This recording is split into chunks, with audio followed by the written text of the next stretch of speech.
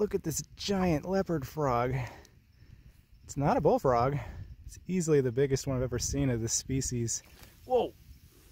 Whoa! there he goes.